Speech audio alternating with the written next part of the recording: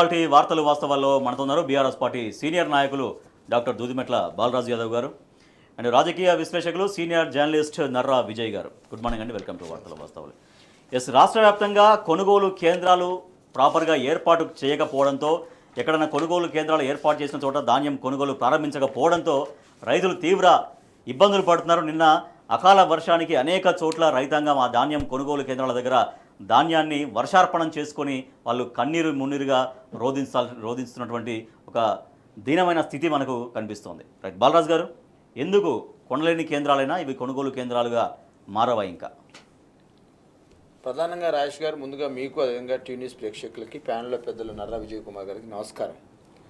ఇవాళ రాష్ట్ర ప్రభుత్వం ఏదైతే ధాన్యం కొనుగోలు సంబంధించి ఒక విధి విధానం ప్రకటించకుండా మద్దతు ధరను మద్దతు ధర ఏదైతే ఉందో ఆ మద్దతు ధరకు ఐదు వందల బోనస్ ఇస్తామన్నారు. ఆ బోనస్ సంబంధించిన వివరాలను ప్రకటించకుండా అదేవిధంగా అసలు ధాన్యం కొనుగోలు ఎట్లా చేయాలి?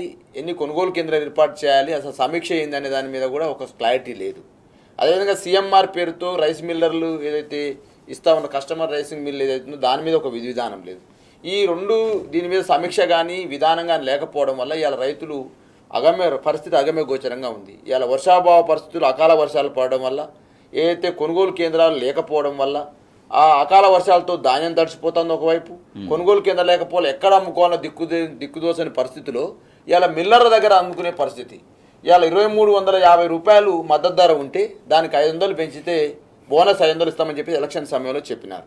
మరి ఇవాళ ఇరవై మూడు వందల యాభైకి ఐదు వందలు ప్లస్ ఇరవై ఎనిమిది వందల యాభై రూపాయలు ఇవాళ రైతుకు గిట్టుబాటు ధర రావాల్సిన అవసరం ఉంది ఈ రాష్ట్రంలో. కానీ ఇలా ఇరవై ఎనిమిది వందల యాభై ఐదు వందలు ప్లస్ బోనస్ ప్లస్ ఇరవై మూడు వందల యాభై అనేది మద్దతు ధర. ఈ రెండు కలిపితే ఇరవై ఎనిమిది వందల యాభై రావాలి రాజేష్ గారు. కానీ ఇలా మిల్లర్ల దగ్గర పద్దెనిమిది వందలకు పంతొమ్మిది వందలకు అమ్ముకునే పరిస్థితి ఉన్నది. తరగత తీస్తుండో తీయని పరిస్థితి. ప్లస్ ఎప్పుడు పైసలు వస్తాయో తెలియని పరిస్థితి. ఇలా అగమ్య గోచరంగా ఉన్నటువంటి పరిస్థితి కనపడతా ఉంది. ఒకవైపు రైతు భరోసా రాక రైతు రుణమాఫీ కాక కూనలిల్లుతున్న రైతాంగానికి ఇవాళ పిడుగు లెక్క వర్షాభావ పరిస్థితులతో ఇలా రైతు మీరు చూస్తూ ఉన్నారు రిజర్వ్స్లో చూపెడతా. ఇలా ఒకవైపు మార్కెట్లో పోసినటువంటి వడ్లు ఏదైతే ఉన్నాయో తడిసిపోయి ముద్దయ్యే పరిస్థితి మొలకెత్తే పరిస్థితి ఆ ఎవరు కొంతలో తెలియని పరిస్థితి. ఈ పరిస్థితులలో వచ్చిన కాడికి వచ్చే పండిన పంటకు ఎంతో కొంత చెప్పేసి అలా పద్దెనిమిది వందలకు పంతొమ్మిది వందలకు ఉండి సుమారు ఆరు నుంచి ఏడు వందల రూపాయలు ఇలా నష్టపోయే పరిస్థితి ఉన్నది. ఒకవైపు సన్న బియ్యానికే మేము ఐదు వందలు బోనస్ ఇస్తామని చెప్పేసి దొడ్డు ఓట్లకి ఏమని చెప్పేసి ఒక రకమైనటువంటి ఇవాళ రైతులు కన్ఫ్యూజ్లో ఉన్నారు. ఇవాళ గతంలో ఎలక్షన్ సమయంలో ఏం చెప్పారు కాంగ్రెస్ పార్టీ? రైతులందరూ రైతు పండించిన ప్రతి కింటాకు ఐదు వందల బోనస్ ఇస్తామన్నారు. ఆ రోజు సన్న ఓట్లు అనలేరు దొడ్డు ఓట్లు అనలేరు. అదేవిధంగా రైతు కొనుగోలు ఏర్పాటు చేస్తామన్నారు. వాస్తవానికి రాజేష్ గారు కేసీఆర్ గారి నాయకత్వంలో మేము కూడా ఆ రోజు కార్పొరేషన్ చైర్మన్గా పనిచేసినాం. కేసీఆర్ గారు వెంబటే ఏదైతే పంట వస్తున్న సందర్భంలోని రైతు సమీక్షలు చేసి అదేవిధంగా రైతు కొనుగోలు కేంద్రాలు ఎట్లా ఏర్పాటు చేయాలనే ఆలోచనతోటి సుమారు ఏడు వేల రెండు వందల రైతు కొనుగోలు చేసేదండి రాజేష్ గారు. ఏడు వేల రెండు వందల ఏడు వేల రెండు వందల కొనుగోలు కేంద్రాలు ఏర్పాటు చేసి మద్దతు ధర ఏదైతుందో మద్దతు ధరను చూసి వెంటనే రెండు మూడు రోజులలోనే రైతు అకౌంట్లోకి పైసలు పంపించే పరిస్థితి ఉండేది. కానీ ఇలా ఆ పరిస్థితి రాష్ట్రంలో లేదంటా ఉన్నాను. ఇలా ఒక మంత్రులందరూ కూడా ఇలా విదేశీ పర్యటనలు ఉన్నారు. బట్టి క్రమార్ గారు ఒక విదేశం పొంగులేరు శివనారెడ్డి గారు ఒక విదేశం. అదేవిధంగా అనేక మంది మంత్రులు ఇలా విదేశీ పర్యటనలు ఉన్నారు ముఖ్యమంత్రి గారు ఢిల్లీ పర్యటనలు ఉండే పరిస్థితులు ఉన్నారు. కాబట్టి ఇలా రైతాంగం పరిస్థితి ఏందని ఆలోచించే పరిస్థితి లేదు. ఒకవైపు తుమ్మల నాగేశ్వరరావు గారు వ్యవసాయ శాఖ మంత్రి ఉంటారు వారేమో ఇలా రైతు రుణమాఫీ ఇంకా డిసెంబర్ దాకా డిసెంబర్ తొమ్మిది ఏదైతే సోనియా గాంధీ జన్మదినం ఉందో అప్పటిదాకా మేము అమలు చేస్తామని చెప్పేసి మాట్లాడతారు. ఒకవైపు మేము ఈసారి రైతు భరోసా ఇవ్వమని చెప్పేసి ఈ రైతు ఏదైతే రైతు బంధు ఏదైతే ఉందో రైతు బంధుని ఇవ్వలేమని చెప్పేసి పరిస్థితి ఉన్నది. ఆల్రెడీ ఒక కారుకి ఎగ్గొట్టేసారు ఇంకో కారుకి ఏమంటే ఇప్పుడు ఇచ్చే పరిస్థితి లేని పరిస్థితి. అసలు ఏంది వీళ్ళకు ఒక రాష్ట్ర రాష్ట్ర ప్రభుత్వము రాష్ట్ర ప్రభుత్వం యంత్రాంగం మీద కానీ రాష్ట్ర ప్రభుత్వం పరిపాలిస్తున్న ఏదైతే పరి అధికారులు ఉన్నారో అదేవిధంగా పరిపాలన యంత్రాంగం మీద కానీ పరిపాలన పట్ల కానీ ప్రజల పట్ల కానీ ప్రేమకుందా అర్థమవుతా అక్టోబర్ అక్టోబర్ ఫస్ట్ నుంచే మొత్తం అన్ని ధాన్యం కొనుగోలు కేంద్రాలు మొత్తం అన్ని ఏర్పాటు చేస్తామని చెప్పారు. కానీ ఎందుకు ఏర్పాటు చేయడం ఒక ఛాలెంజ్ అయితే చేసినటువంటి ఏర్పాటు చేసినటువంటి కేంద్రాల్లో కూడా కొనుగోలు జరగకపోవడం అనేది ఎందుకు? అంటే ఒక సమన్వయం లేదా శాఖల మధ్య సమన్వయం లేదా లేకపోతే దానిపైన ఒక పర్యవేక్షణ లేదా ఏంది కారణం ఎందుకు? నాకు తెలిసి అయితే వీళ్ళకు పర్ఫెక్ట్గా రైతాంగం పట్ల అవగాహన లేనట్టే కనపడతా ఉంది. ఎందుకంటే ఎలక్షన్ సమయంలో వీరు ఇచ్చినటువంటి హామీల పట్ల ఒక ఎలక్షన్ మేనిఫెస్టో రూపొందిస్తున్నప్పుడు రేపు రేపు రాష్ట్రంలో మీకు అధికారంలోకి వస్తే వచ్చే బడ్జెట్ ఏంది? ఆ బడ్జెట్కు ఎక్కడెక్కడ కేటాయింపులు అనేది ఒక ప్రాధాన్యత అంశాలు ఉంటాయి. అవును. ఇవాళ మొదటగా కేసీఆర్ గారి నాయకత్వంలో అప్పుడు ప్రభుత్వం వచ్చినప్పుడు ప్రయారిటీ రైతాంగాన్ని ప్రయారిటీ ఇచ్చినాం. రైతాంగాన్ని ప్రయారిటీ కాబట్టి ఇరవై నాలుగు గంటల కరెంటు విద్యుత్తుని ఈ రాష్ట్రంలో సమకూర్చుకోగలిగాం తదనంతరం రైతాంగానికి సంబంధించినటువంటి ఒక పెట్టుబడి సాయంగా రైతు బంధిస్తే బాగుంటుందని చెప్పేసి కారుకు ఐదు వేలు ఐదు వేలు చెప్పేసి పదివేలు రెండు కార్లకు ఇవ్వడం కలిగింది. కానీ వీళ్ళకు పదిహేను వేలు ఇస్తామని చెప్పారు ఆ పదిహేను వేలు ఎంతమంది రైతాంగం ఉన్నారు? వాళ్ళకి ఎన్ని కోట్లు ఖర్చు అయితేనే ఒక విధి విధానం లేదుగా రాజేష్ గారు. ఇవాళ రైతు బంధు మీద వీళ్ళకి ఒక స్పష్టమైన అవగాహన లేదు. రైతు రుణమాఫీ మీద ఒక స్పష్టమైన అవగాహన లేదు. రైతు. కొనుగోలు కేంద్రాల మీద స్పష్టమైన అవగాహన లేదు. రైతుకి ఇచ్చే బోనస్ పైన స్పష్టమైన అవగాహన లేదు. ఎన్ని కొనుగోలు ఏంది- ఏందండి? తడుస్తుంటే రైతు చూస్తుంటే కష్టం చూస్తుంటే కన్నీరు వస్తా ఉంది అలా కింటాకు ఆరేడు వందల రూపాయలు లాస్ అయితే ఏంది పరిస్థితి అంటున్నాను ఇలా రైట్ విజయ్ గారు మిల్లర్ల దోపిడీ ఎందుకంటే రాష్ట్రంలో ధాన్యం కొనుగోలు కేంద్రాలు ప్రారంభం కాకపోవడంతో సరే ఎంతో కొంత అమ్మేసుకుంటే అయిపోద్ది. మనం ఇక్కడ వెయిట్ చేసి అనవసరంగా వర్షానికి పంట తడుచుకోవడం కంటే మిల్లర్లు వస్తే ఎంతో కొంత నష్టానికైనా అమ్మేసుకోవాల్సినటువంటి పరిస్థితిని అనేక మంది రైతులు ఎదుర్కొంటున్నారు. సో ఈ పరిస్థితిని ప్రభుత్వం గమనించట్లేదా? ఎందుకు ధాన్యం కొనుగోలు కేంద్రాల విషయంలో ఇంత అస్తవ్యస్తమైనటువంటి విధానం అవలంబిస్తోంది? అంటే ప్రభుత్వం యొక్క ఏ రకంగా ప్రభుత్వ కేంద్రం ఏ రకంగా పరిపాలన చేస్తుంది అనేది మనం అర్థం చేసుకోవాలి. ప్రధానంగా రైతు కేంద్రంగా రైతు సమస్యల పరిష్కార కేంద్రంగా వ్యవసాయం సంబంధించినటువంటి అంశం కేంద్రంగా పరిపాలన సాగిస్తేనేమో ఒక తీరుగా ఉంటుంది. నిరంతరం దాని మీదనే కాన్సన్ట్రేషన్ చేయడం రైతులకు వస్తున్నటువంటి వడ్ల కొనుగోలు ధాన్యం రాగానే మార్కెట్లో రాగానే మార్కెట్లో ఏ రకమైన ఏర్పాట్లు చేయాలి? వర్షాలు వస్తున్నాయి బంగా ఏర్పడింది తుఫాన్ వస్తున్నాయి అని కూడా తెలుసు. ఎక్కడెక్కడ వాతావరణ కేంద్రం ఎప్పటికప్పుడు అలర్ట్ చేస్తున్నటువంటి అవును. దాని ప్రకారం ఆ మార్కెట్లో కనీసం రా ధాన్యం తడవకుండా రైతులకు ఆ టార్పాలిన్లు ఇవ్వడం కానీ తడవకుండా ఏర్పాట్లు చేసే అటువంటి మెకానిజం ఏర్పాటు చేయాలి. ఇప్పుడు అంతకంటే ఏంది? గతం కంటే ఇంకెక్కువ భిన్నంగా చేయాలిగా. మీరు రైతాంగం అనుకున్నట్లయితే గత ప్రభుత్వం మీద విమర్శలు చేస్తున్నట్లు ఉన్నట్లయితే గత ప్రభుత్వం కంటే ఇంకెక్కువ ఏర్పాట్లు చేసి ఎక్కువ ధరకు కేంద్రాలు రైతులు? నష్టపోకుండా కొనుగోలు చేయాల్సినటువంటి అవసరం ఉండే. అట్లాంటిది ఏది ఉత్తగా ఏదో ఒకసారి సమీక్ష పెట్టేసి ఇన్ని కేంద్రాలు ఏర్పాటు చేస్తున్నాం అని చెప్పారు. దానికి కూడా ఏంది? ఇప్పుడు ఇందులో మొత్తం యాక్చువల్గా ఐదు వందల బోనస్ వాళ్ళు ఇచ్చినటువంటి హామీ ప్రకారం అన్ని ఓట్లకి ఇవ్వాలి. వీళ్ళు సన్న రకం ఓట్లకే ఇస్తాము అని చెప్పి ఆ సన్న రకానికి కూడా ఏంది? కేంద్రాలు వేరే ఏర్పాటు చేశారు ఇప్పుడు ప్రతి ఇప్పుడున్న ప్రతి ఏడు వేల చిల్లర ఉన్నటువంటి కేంద్రాలలో కాకుండా ఈ సన్నధాన్యం కొనుగోలు కోసం మండలానికి ఒకటి పెట్టారు మండలానికి ఒకటి పెడితే ఎవరు అక్కడికి తీసుకుపోతారు? దాన్ని రవాణా ఛార్జీలు దాని అక్కడ మళ్ళీ మార్కెట్లో అక్కడ ఉన్న మండల కేంద్రంలో ఉన్నటువంటి మార్కెట్లో రక్షణ ఇదంతా చాలా ఇబ్బందికరంగా ఉన్నది. ప్లస్ బోనస్ ఎప్పుడు ఇస్తారట? మామూలుగా ఇప్పుడు అయితేనేమో దొడ్డు రకం ఈ కొన్నాయేమో ఇమ్మీడియట్గా రెండు వేల మూడు వందల ఇరవై ఇస్తామని చెప్తున్నారు. దానికి ఏంది పది రోజులు ఆగాలి మళ్ళీ సపరేట్ బిల్లు దానికి. అవును. ప్లస్ ప్రతి సన్న వడ్లని కొలుస్తారు సన్న వడ్లని ఒక మిషన్లో వేసి ఆ మిషన్లు సపరేట్గా తెప్పించారు. దానికి ఎంత బడ్జెట్ అయిందో తెలియదు ఆ చిన్న చిన్న మిషన్ తెప్పించి ఆ మిషన్లో ఆ సన్న వడ్లని పోస్తే వాళ్ళు ఇచ్చినటువంటి మెజర్మెంట్స్ వాళ్ళు అనుకునే కొలతలకు అనుగుణంగా కొలతలకు ఉంటే మాత్రమే కొలతలకు అనుగుణంగా ఉంటేనే దానికి బోనస్ వస్తుంది. ఇన్ని ఇన్ని తిప్పల పెట్టి రైతులని ఇన్ని రకాలుగా వేధించి పోతే మార్కెట్కి తీసుకుపోతారు. మార్కెట్కి వీళ్ళంతా రావద్దనే ఉద్దేశంతో ఈ కండిషన్స్ అని పెట్టినట్టు కనిపిస్తుంది. సన్న రైతాం ప్లస్ సన్న రైతాంగానికి ఇంకా మిల్లోడు ఎక్కువ ఇస్తున్నారు కొంతమంది. కొంతమంది ఎక్కువ ఇస్తున్నారు. ఆ రకం ఎక్కువ ఇచ్చినా మళ్ళీ అందులో మోసమే జరుగుతున్నటువంటిది ఉన్నది. దొడ్డోట్లను కూడా ఇప్పుడు వర్షాలు పడుతున్నాయి. పడుతున్నటువంటి తడుస్తున్నాయి. ఈ తడిసేది ఎందుకని మిల్లులకు అడ్డికి పవసర్ లాగా వదిలేసుకుంటున్నటువంటి సిచ్యువేషన్ రైతాంగాన్ని కనిపిస్తుంది. ఇదంతా ఎందుకు వస్తుందంటే వీళ్ళ పరిపాలన ఇంటెన్షన్ రైతులే ప్రధానమైనటువంటి ఎజెండాగా పరిపాలన చేస్తేనేమో ఈ అన్నిటి ఇమీడియట్గా ఏ జిల్లాకు ఆ జిల్లా మంత్రి సమీక్ష చేయడం ఆఫీసర్ల మీద ప్రెషర్ పెట్టడం పౌర సరఫరాల శాఖ అదేవిధంగా కలెక్టర్ కలెక్టర్లకు బాధ్యత కలెక్టర్ల మీద ఒకటికి రెండు సార్లు ఫోన్ చేయడం వాతావరణానికి సంబంధించిన చూసుకొని ఎమ్మటే అలర్ట్ చేయడం ఇవన్నీ ఉంటాయి. ఇట్లాంటి రైతు కేంద్రంగా వీళ్ళు పరిపాలన సాగిస్తలేరు. ఎంతసేపటికి ఇప్పటికే రైతు భరోసాకు సంబంధించి రైతులందరూ కూడా ఆందోళన వ్యక్తం చేస్తున్నారు. నిన్న మొన్న బీఆర్ఎస్ ఆధ్వర్యంలో జరిగినటువంటి ఆందోళనలు చాలా విజయవంతంగా జరిగాయి. రైతు భరోసా ప్రభుత్వం ఎగ్గొట్టింది అన్నటువంటి ఈ నేపథ్యంలో వాళ్ళు మరింత ఆందోళనకు గురవుతున్నటువంటి సిచ్యువేషన్ బాలరాజు గారు?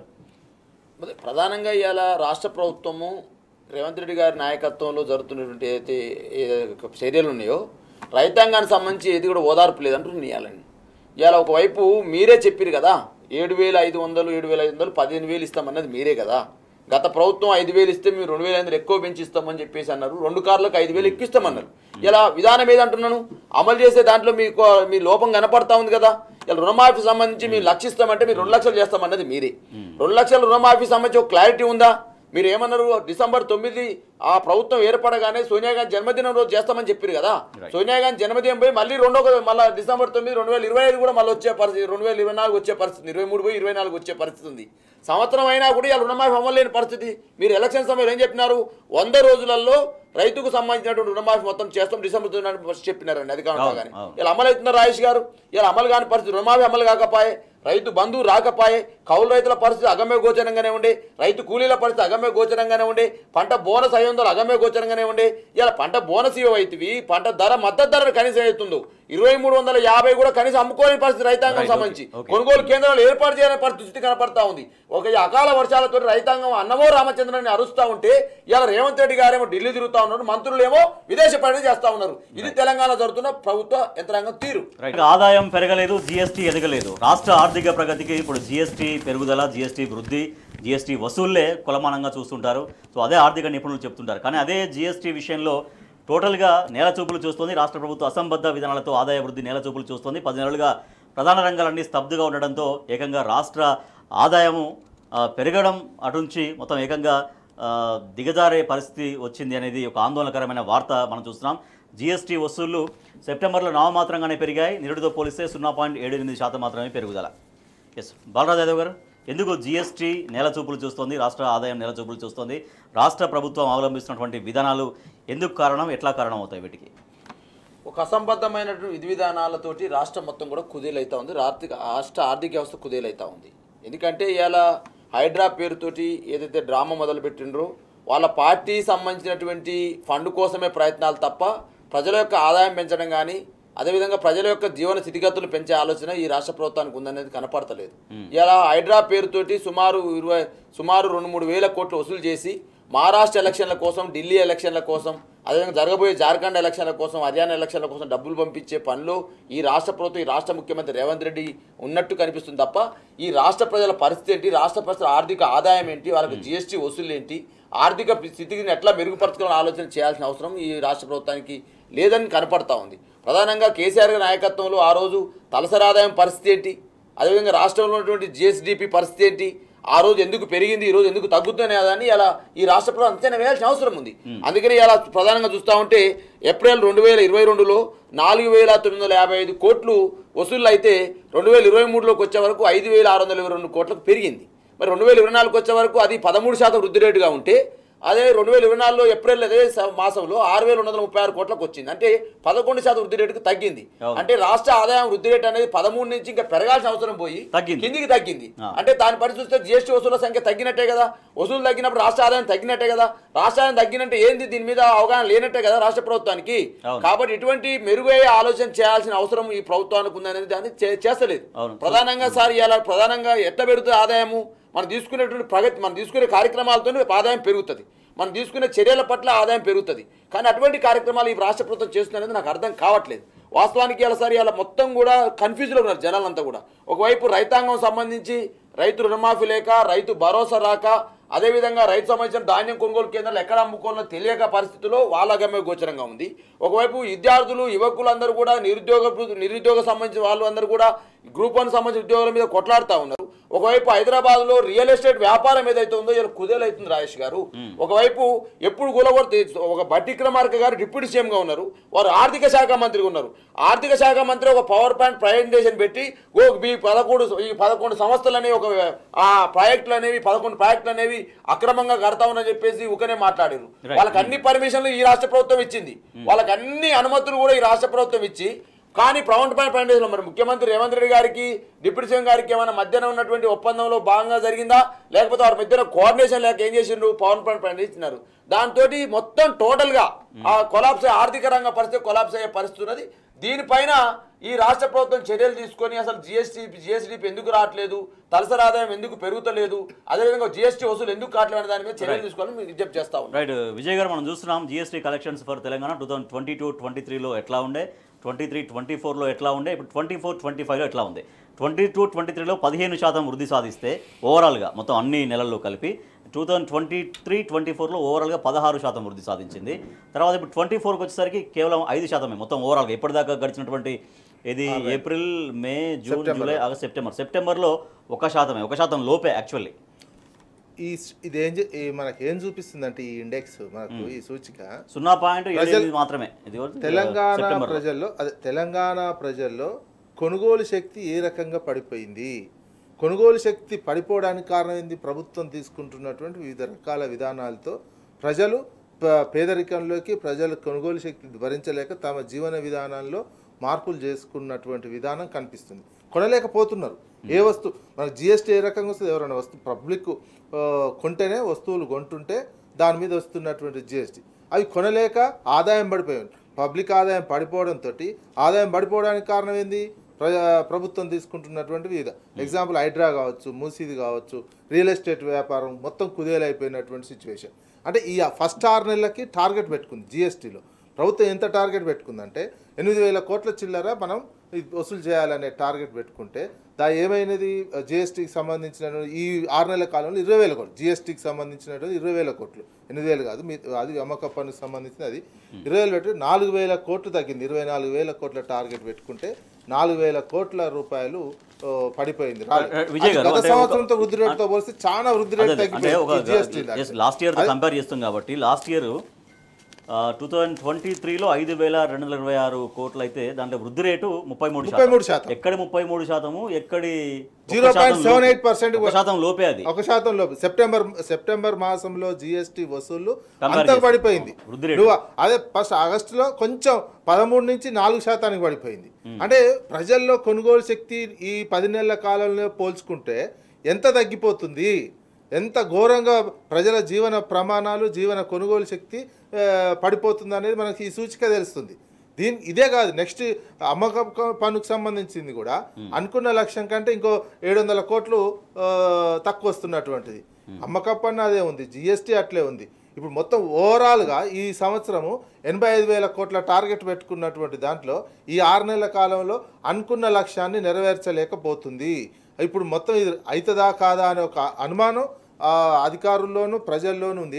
ఎందుకు ఇట్లా అవుతుంది ప్రజానికం? ప్రజానిక జీవన వ్యయం మీద ప్రభుత్వం తీసుకుంటున్నటువంటి చర్యలు. మీరు ఏంది రియల్ ఎస్టేట్ను ప్రోత్సహించే బదులు మొత్తం కునారిల్లే విధంగా చేసినటువంటి విధానాలు కనిపిస్తున్నాయి. అదే వ్యవసాయ రంగానికి పెట్టుబడి సహాయం ఇస్తున్నటువంటి నేపథ్యంలో వీళ్ళు పెట్టుబడి సహాయాన్ని మొత్తం మూలకేసేసరికి రైతాంగంలో కూడా కొనుగోలు శక్తి పడిపోయింది.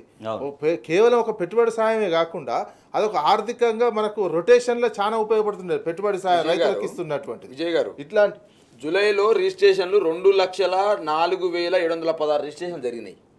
ఆదాయము పదిహేను వందల ముప్పై ఒక్క కోట్ల ముప్పై రెండు లక్షలు వచ్చింది ఆగస్టుకు వచ్చే వరకు ఒక లక్ష నలభై ఎనిమిది వేల ఆరు వందల నలభై మూడు సంబంధించిన రిజిస్ట్రేషన్లు అయినాయి.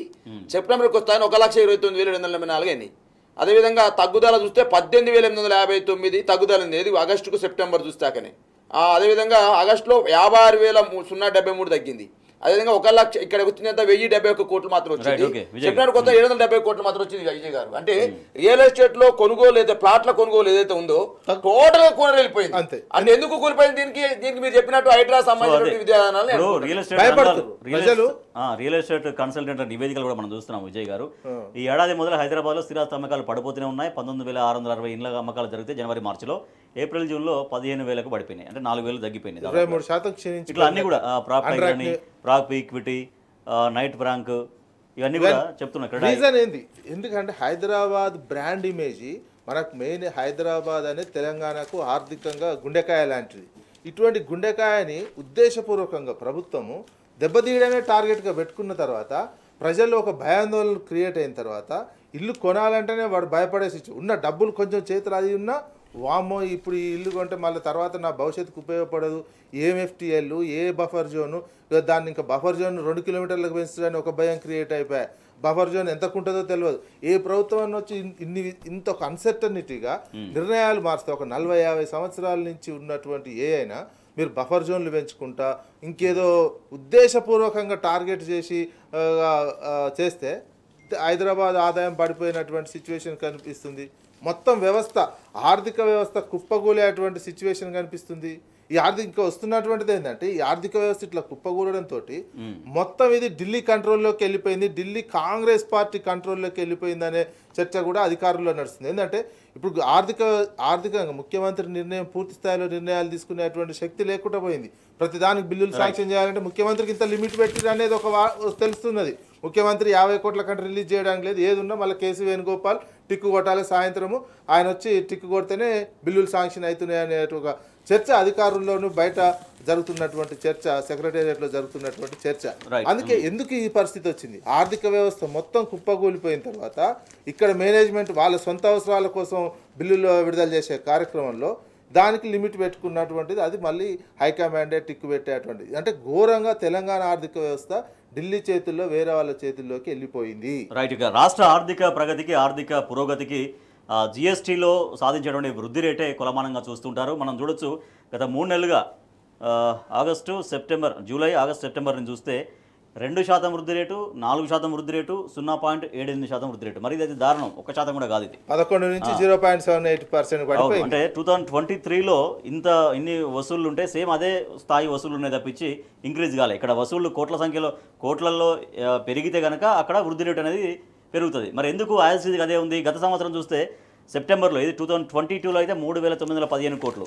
టూ థౌజండ్ ట్వంటీ త్రీలో ఐదు వేల రెండు వందల ఇరవై ఆరు కోట్లు. అంటే చాలా భారీగా వ్యత్యాసం కనిపించింది. కానీ ఇక్కడ 33% మాత్రం increase అయింది. వ్యత్యాసం కనిపించట్లేదు. ఓ కేవలం ఒక ఒక ఒక కోటి. మాత్రమే డిఫరెన్స్ కనబడుతుంది. సో దాంతో ఒకటి శాతం కంటే లోపే వృద్ధి రేటు కనిపిస్తుంది జీఎస్టీలో సో ఇది ఆర్థిక ప్రగతికి మరింతగా ఇది రాష్ట్ర ఆర్థిక పరిస్థితి నేల చూపులు చూస్తోంది దిగజారిపోతుందంటూ ఆర్థిక నిపుణులు ఆందోళన వ్యక్తం చేస్తున్నారు ఆవేదన వ్యక్తం దాదాపుగా పద్దెనిమిది వేల ఐదు వందల కోట్ల భారాన్ని రాష్ట్ర ప్రజలపైన విద్యుత్ ఛార్జీల రూపంలో ఈ కాంగ్రెస్ ప్రభుత్వం వేయబోతుంది. అందుకు కసరత్తు ప్రారంభించింది దాదాపుగా కొలిక్కి వచ్చింది. దాదాపుగా పద్దెనిమిది వేల ఐదు వందల కోట్ల భారం రాష్ట్ర ప్రజలపైన వేయబోతుంది అంటూ బీఆర్ఎస్ పార్టీ ఆందోళన వ్యక్తం చేస్తూ నిన్న ఈఆర్సీ చైర్మన్కి నిన్న వినతిపత్రం వినతి పత్రం అందించారు. కరెంటు ఛార్జీలు పెంచకుండా చూడాలనేది.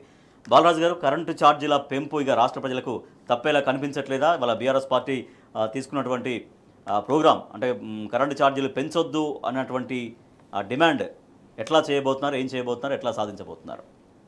ఇవాళ కుదేలైతున్నటువంటి ఇబ్బంది పడుతున్నటువంటి ప్రజల మీద రైతాంగం మీద ఇలా మరొకసారి ఆర్థిక భారాన్ని మోపడం కోసం ఈ రాష్ట్ర ప్రభుత్వం ప్రయత్నం చేస్తూ ఉంది.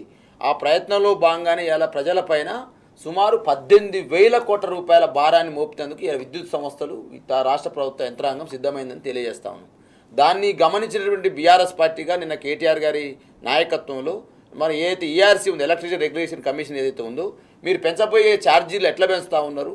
ఏ విధంగా ప్రజలపై భారం మోపుతున్నారని చెప్పేసి వెంటనే బీఆర్ఎస్ పార్టీ స్పందించి ఒక వినతి పత్రాన్ని కూడా అందించడం జరిగింది. ప్రధానంగా రాజేష్ గారు ఇలా పద్దెనిమిది వేల కోట్ల భారం ఏదైతే ఉందో గతంలోనే ఆ ట్రూ ఆఫ్ ఛార్జీల పేరుతోటి ప్రజలపైన భారం మోపడం కోసం విద్యుత్ సంస్థలు వచ్చి రాష్ట్ర ప్రభుత్వానికి కేసీఆర్ నాయక్ కేసీఆర్కి సూచించడం జరిగింది సార్ పన్నెండు వేల ఐదు వందల కోట్లు ఇట్లా మేము వసూలు చేసుకోబోతున్నాం అని చెప్పి చెప్తే వద్దు ట్రూ ఆఫ్ ఛార్జీలు పెంచొద్దని చెప్పేసి ఆ రోజు పన్నెండు వేల ఐదు వందల కోట్ల భారం వేయబోతుంటే పది సంవత్సరాల కాలంలో రాజేష్ గారు. నేను అంటాను ఇవాళ పది నెలలే వచ్చి వీరు వీరు పది సంవత్సరాల కాలంలో కేసీఆర్ నాయకత్వంలో ఒక్క పైసా కూడా విద్యుత్ ఛార్జీలు పెంచకుండా పరిపాలన కొనసాగిస్తే అదేవిధంగా తెలంగాణలో విద్యుత్ సామర్థ్యం ఆ రోజు విద్యుత్ సాపి సామర్థ్యం ఏడు వేల ఎనిమిది వందల మెగావాట్లు ఉంటే దాన్ని ఇరవై నాలుగు వేల మెగావాట్లకు పెంచినటువంటి దార్శనికుడు కేసీఆర్ గారు. అదేవిధంగా ఆ రోజు కరెంటు వస్తే వార్త పోతే వార్త అనేటువంటి పరిస్థితులు ఉంటే ఈరోజు కరెంటు పోకుండా ఇరవై నాలుగు గంటల కరెంటు ఇరవై నాలుగు గంటల కరెంటుని ట్వంటీ ఫోర్ ఫైవ్ సెవెన్ ఇచ్చేసి రైతాంగాన్ని ప్రజల్ని ఆదుకున్నటువంటి పరిస్థితి ఒకవైపు కేసీఆర్ నాయకత్వంలో కనిపించింది. కానీ అలా విద్యుత్ రంగం మొత్తం కూడా కుదేలైతూ ఇలా రాష్ట్ర ప్రజల పైన రాష్ట్ర రైతాంగం పైన ఇలా పద్దెనిమిది వేల కోట్ల భారాన్ని పెంచేటువంటి సంస్కృతి ఈ రాష్ట్ర ప్రభుత్వం రేవంత్ రెడ్డి నాయకత్వంలో జరుగుతూ ఉంది. ప్రధానంగా సార్ ఇలా ఏదైతే విద్యుత్ బిల్లు వస్తుందో ఫిక్స్డ్ ఛార్జీలు అని ఉంటాయి. ఫిఫ్త్ ఛార్జ్ అంటే పది రూపాయలు ఉన్నది గతంలో. ఈరోజు యాభై రూపాయలు చెప్పి పెట్టే పరిస్థితి. అంటే ఈ విధంగా యాభై రూపాయలు పెంచితే సుమారు ఇరవై ఆరు లక్షల మంది అంటే మూడు వందల యూనిట్లు పైచిలకు వాడేటువంటి గృహ అవసరాలకు వాడే విద్యుత్ ఉందో పది రూపాయల నుంచి యాభై రూపాయలు పెంచితే ఇట్లా ఇరవై ఆరు లక్షల మంది ఉంటే సుమారు ఇదొక్క ఇదొక్క అంశం మీదనే సుమారు తొమ్మిది వందల కోట్లు సుమారు నాలుగు వందల కోట్ల నుంచి పన్నెండు వందల కోట్లు భారం పడే పరిస్థితి ఉన్నది.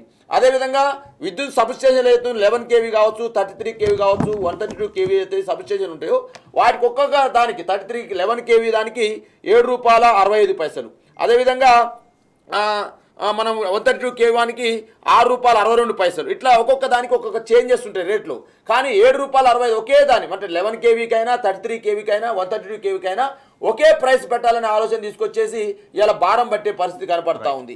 అదేవిధంగా పరిశ్రమలకు సంబంధించి ఒక్కొక్క దానికి ఒక కేటగిరీలో ఉంటాయి. లెవెన్ కేవీ కింద కొన్ని పరిశ్రమలు ఉంటాయి వన్ థర్టీ టూ కేవీ కింద కొన్ని ఉంటాయి థర్టీ త్రీ కేవీ కింద కొన్ని పరిశ్రమలు ఉంటాయి. కానీ అలా అన్నింటినీ కూడా ఒకే స్లాబ్లోకి తీసుకొచ్చి అంతా ఒకే రేటు వేయడం ద్వారా ఇలా పరిశ్రమల పైన కూడా ఇలా భారం పడే పరిస్థితి ఉంది.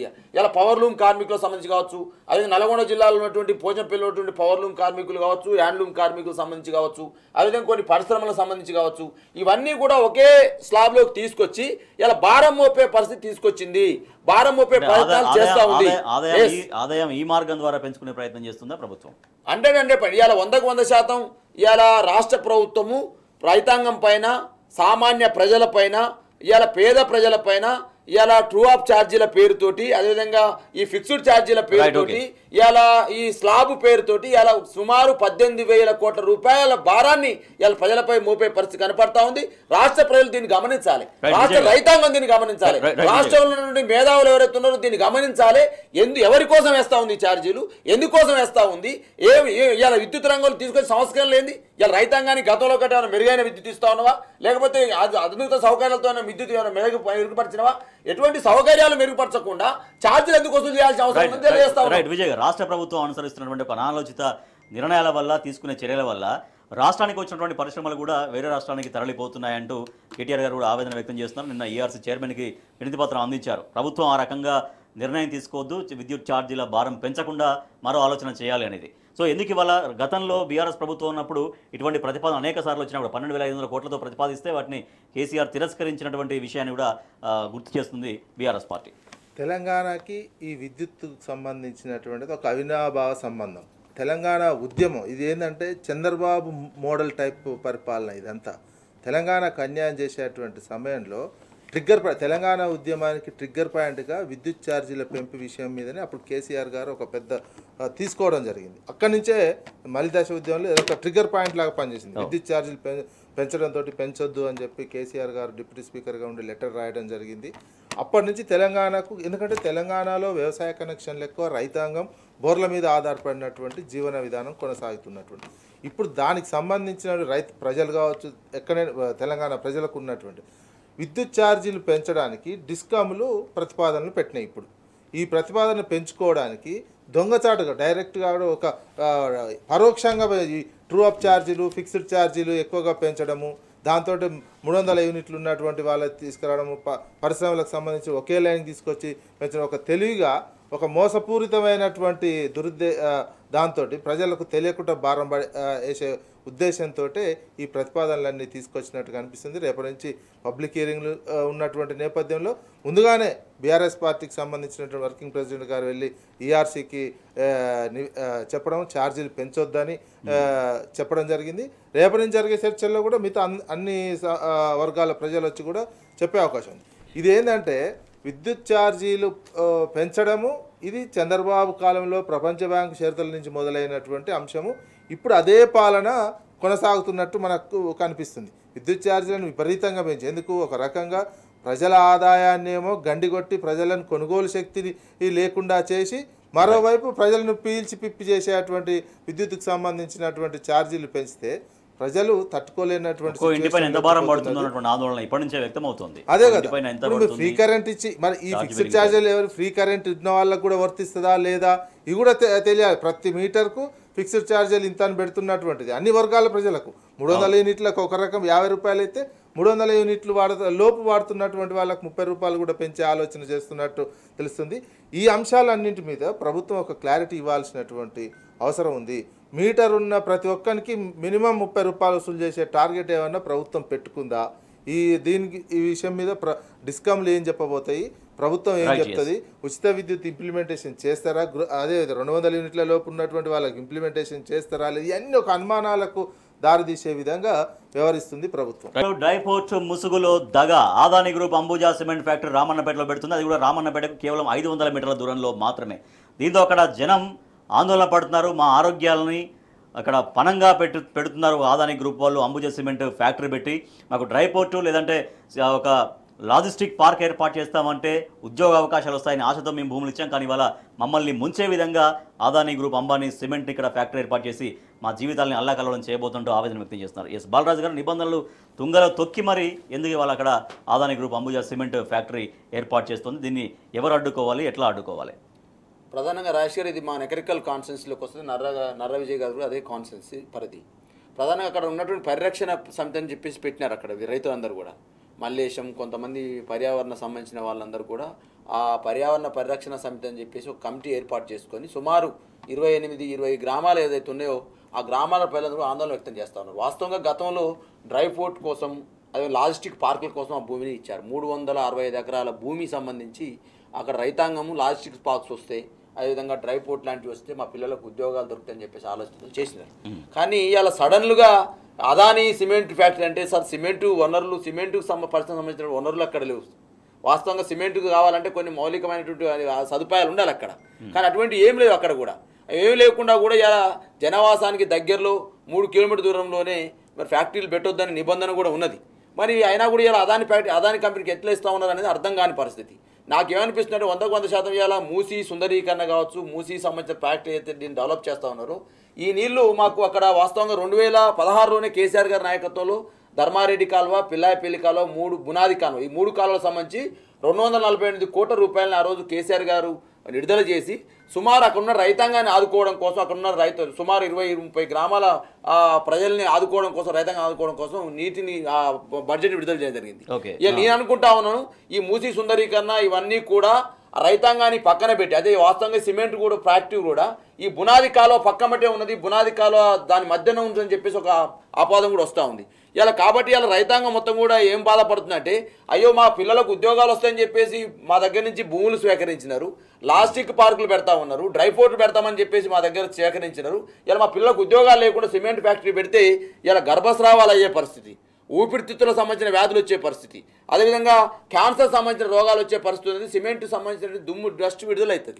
కాబట్టి అక్కడ ఉన్నటువంటి అనేక విపరీతమైనటువంటి ఆ రోగాలు వచ్చే పరిస్థితులు అని చెప్పేసి బాధపడతా ఉన్నారు. ఒకవైపు నేను అనుకుంటా ఉన్నాను ఇలా అదాని లాంటి ఒక పెద్ద మనిషి మరి మోదీ కూడా వాళ్ళ ఇంటికి పోయేటువంటి పరిస్థితి ఉన్నటువంటి ఇవాళ దేశంలోనే ప్రపంచంలోనే ఒక నెంబర్ వన్ కుబేర్గా తయారైనటువంటి అదాని రేవంత్ రెడ్డి గారి ఇంటికి వచ్చి ఇవాళ వంద కోట్ల రూపాయలు సీఎంఆర్ఎఫ్కి ఇచ్చారంటే వంద కోట్ల వెనకాల మరి ఎన్ని వేల కోట్ల మొదలపు ఉందో నాకు అర్థం కావట్లేదు. వాస్తవానికి కూడా నేను అనిపిస్తా ఉంది రాజేష్ గారు నాకు అనిపించేది ఏంటంటే లైన్ క్లియరా ఎస్ వందకు ఇయ్యాల మూసి పేద ప్రజలు ఎందుకు కూలగొడతా ఉన్నారు? ఈ మూసి సుందరీకరణ చేసి ఈ నీళ్ళని ఎక్కడ తీసుకెళ్ళాలి ధర్మారెడ్డి కాలువకు తీసుకెళ్ళి సుమారు మూడు వేల ఎన్ని మూడు లక్షల లీటర్ల నీరు రోజు ఆ- కంపెనీకి అవసరం పడుతుంది విజయ్ గారు. అంటే మూడు లక్షల లీటర్ల నీరుని. రోజు ఆ కంపెనీకి ఇచ్చేసి అక్కడున్న ప్రయాణికి తాగునీరు లేకుండా ఏం కాదు. అక్కడున్న. ప్రయాణికి సాగునీరు లేకుండా ఏం కాదు అక్కడున్న ప్రజలు మొత్తం కూడా ఎట్టి పరిస్థితులు ఇబ్బంది పడ్డ ఏం లేదు కానీ నాకు అదాని మంచిగా ఉండాలని ఆలోచన చేస్తా ఉన్నాడు నేను అప్పుడే మొదట చెప్పిన బీఆర్ఎస్ పడి చెప్పినాం అయా మీ రాహుల్ గాంధీ గారేమో అదాన్ని వ్యతిరేకిస్తారు అదాని కంపెనీలు వ్యతిరేకిస్తారు అంబానీ అదానికి దాసోహమైన మోదీ అని చెప్పేసి మీ అదా మీ రాహుల్ గాంధీ గారు మాట్లాడతారు. ఇక్కడ ఉన్నటువంటి కాంగ్రెస్ పార్టీ ముఖ్యమంత్రి రేవంత్ రెడ్డి గారు అదే రాహుల్ గాంధీ నాయకత్వం ఆమోదించే రేవంత్ రెడ్డి గారు మాత్రం అదానికి రెడ్ కార్పెట్ వేస్తాడు అదానితో బిర్యానీ తింటాడు అదాని ఇచ్చిన పల్లెలు తీసుకుంటాడు అదానికి ఇలా ఈ రాష్ట్రాన్ని దోచిపెట్టే ప్రయత్నం చేస్తా ఉన్నాడు. రాహుల్ గాంధీ స్టాండ్ ఏదో చెప్పాలి అదాని మీద. Congress party stand Revanth Reddy stand ఒకటేనా? చెప్పాలి కదా. మీరు మాట్లాడుతున్నారు ఆ, విజయ్ గారు మొత్తం ప్రభావితమైన గ్రామాలు అంటే రామన్నపేట కొమ్మాయిగూడెం సిరిపురం పెదకాపర్తి ఎల్లంకి బోగారం నీర్నాముల జనంపల్లి ఇస్కిల్లా దుబ్బాక తుమ్మలగూడెం ఇంద్రపాల నగరం అంట సర్నేనిగూడెం మునివంపుల పల్లివాడ లక్ష్మణపురం ఎన్నారం శివనేనిగూడెం కక్కిరేణి చిట్యాల ఉత్తటూరు. ఇవన్నీ మీ ప్రాంతం కదా మీకు ఎక్కువ ఐడియా ఉంటుంది మా ప్రాంతానికి సంబంధించినటువంటి. అయితే ఇక్కడ అసలు ఆడ కనీసం సున్నప్రాయి నిక్షేపాలే లేవు. అది ఆడ ఉన్నటువంటిది. ఉద్దేశపూర్వకంగా ఏంటంటే ఇక్కడ ముఖ్యమంత్రి బంధువులకు కూడా సిమెంట్ ఫ్యాక్టరీలు ఉన్నాయి. ఇక్కడ అదాని ఏం చేస్తుందంటే భారతదేశం అంతటా సిమెంట్ ఫ్యాక్టరీలు అల్ట్రాటెక్ కంపెనీకి ఈయనకు విపరీతమైన పోటీ భారతదేశంలో నడుస్తుంది. భారతదేశంలో ఒక ప్రైవేట్ సిమెంట్ ఫ్యాక్టరీ ఒక్క ఈఎంఐ లోన్ తీసుకుని ఒక ఈఎంఐ ఎగ్గొట్టినట్లయితే అదాని వాళ్ళు మీద రాక్షసులాగా మీద పడుతున్నటువంటిది. అది మాకే అమ్మాలి ఆ కంపెనీ అని.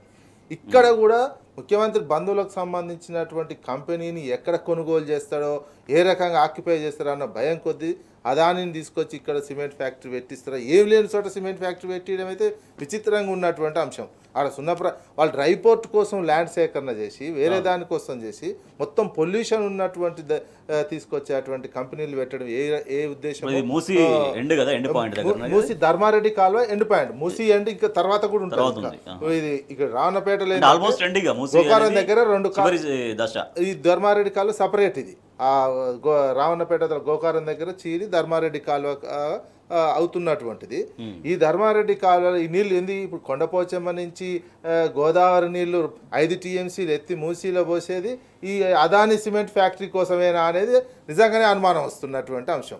అదాని గారు కరోనా ఉన్నప్పుడు వంద కోట్ల రూపాయలు దేశానికి విరాళంగా ఇచ్చిండ్రో లేదో తెలియదు కానీ ఇప్పుడు మాత్రం వంద కోట్ల రూపాయలు తెలంగాణ ప్రభుత్వానికి వచ్చి వంద కోట్ల విరాళం ఇచ్చడం అంటే దీన్ని రకంగా చూడాల్సినటువంటి అవసరం అయితే ఉంది. ఒక సో అదే అంటే ఎటువంటి విపత్తులు జరిగినా ఇంకేం జరిగినా కూడా రాని అదాని ఏకంగా ఉన్న పరంగా వంద silent గా కోట్లు వచ్చి వంద కోట్లు ఇచ్చారు అనేది చాలా సర్వత్రా చర్చ జరుగుతోంది. సో ఇటువంటి వాటన్నిటికీ కూడా లైన్ క్లియర్ చేసుకోవచ్చు అనే దాని మీదనే క్లియర్ అయింది. పెద్ద ఇప్పుడు ఆడ పర్యావరణానికి ఎంత నష్టం జరుగుతుంది? ఇక్కడ పర్యావరణాన్ని కాపాడటానికి మూసీని చేస్తున్నా అని చెప్పి ఆడ పర్యావరణాన్ని దెబ్బతీస్తున్నాం. ఇక్కడ మూసీ నిన్న సియోలో పర్యటిస్తున్నారు కదా ప్రభుత్వ బృందం. అది ఒక పిల్ల కాలువ లాగానే అక్కడ వాళ్ళు పరిగణించినట్టుగా అది మూసీకి దీనికి కంపారిజన్ లేదు అది ఒక వాగులాగానే అంటే దానికి విస్తీర్ణం కూడా ముప్పై మీటర్ల. వెడల్పు ఉంది. అది మొత్తం ఆ సియోలో పర్యటించే పదమూడు కిలోమీటర్లు ఉంటే పది కిలోమీటర్లు మాత్రం డెవలప్ చేశారు అది వెడల్పు అయితే ముప్పై మీటర్లు కూడా ఉండదు. ఈడ మన నూట ఎనభై మీటర్ల వరకు ఉన్నది మూసీ కాలువ అని ముప్పై మీటర్లకు వయసు అది వాగు వాగు కాకపోతే ఇంకేమవుతుంది వాగు పిల్ల కాలువ లాగుండి చూసి అక్కడ ఉన్నటువంటి చిన్నదాన్ని పది కిలోమీటర్ల ఇది మొత్తం రెండు వందల యాభై ఇక్కడ ఉన్న యాభై ఐదు కిలోమీటర్లకు సంబంధించి ఈడ పబ్లిక్ ఉన్నటువంటి అక్కడ పబ్లిక్ తక్కువ అక్కడ ఉన్నటువంటి అక్కడ పరిస్థితులు వేరు మన పరిస్థితులు వేరు. వాళ్ళు పోయి చూసి దానికి సంబంధించిన విద్యుత్ ఆడ విద్యుత్ ప్లాంట్ కూడా చూసారు పర్యావరణానికి సంబంధించిన విద్యుత్ ఉత్పత్తి చెత్తతో తయారు చేసేది ఆల్రెడీ ఈడనే పదిహేను వందల వ్యర్థాల కిలో వ్యర్థాలు ఉన్నటువంటి తయారవుతున్నటువంటిది ఉంటే ఆ, అరవై వెయ్యికి సంబంధించిన తక్కువ సామర్థ్యం ఉన్నటువంటి విద్యుత్ ప్లాంట్ను చూస్తే ఏం అవగాహన వస్తుంది? బాలరాజ్ గారు కంక్లూడింగ్ ఫైనల్గా ప్రధానంగా మూసీ కోసం సియోలు పర్యటన తర్వాత ఇక్కడేమో రామన్నపేటలో అంబుజా సిమెంట్ ఫ్యాక్టరీ ఆదానిది. సో ఎంత ఒక రిలేటెడ్గా ఉన్న సబ్జెక్ట్ లాగా అనిపిస్తుంది. వాస్తవానికి పేదల గూళ్ళు ఎందుకు మాకే అర్థం కాలే. ఓ ప్రభుత్వం పదినేళ్ళు అవుతుంది. ప్రభుత్వం ప్రజలు ఆశీర్వదించరు ప్రభుత్వం వాళ్ళ పరిపాలన చేయమని. మరి ఎన్నుకున్న ప్రజల్ని ఎందుకు ఇవ్వాలి నట్టేట ముస్తున్నారు అనేది అర్థం కాలే మాకు వాస్తవానికి.